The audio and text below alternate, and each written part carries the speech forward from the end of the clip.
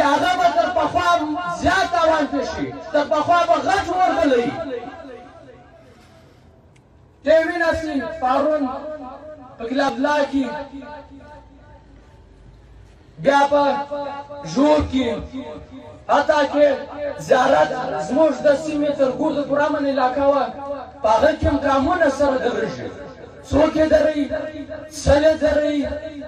ضرورت یې څه دی دا دا سیمه ته داسې اور راوړي چې دوی څلوېښت کاله مخکې کوم اور راوړي تر هغې غټ راوړي اوس یې بیا افغانستان ته بیا باندې شوي دي بیا د مداخلت کوشش کوي بیا د بربادېدو کوشش کوي بیا به له کاره افغانان ورکوي خو یا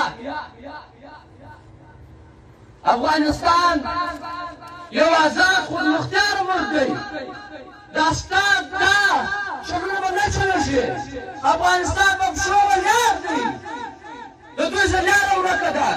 د دوی پرېشانه دي پښې یې کپشي په افغانستان کې د میډیا په ذریعه باندې مداخلات کوي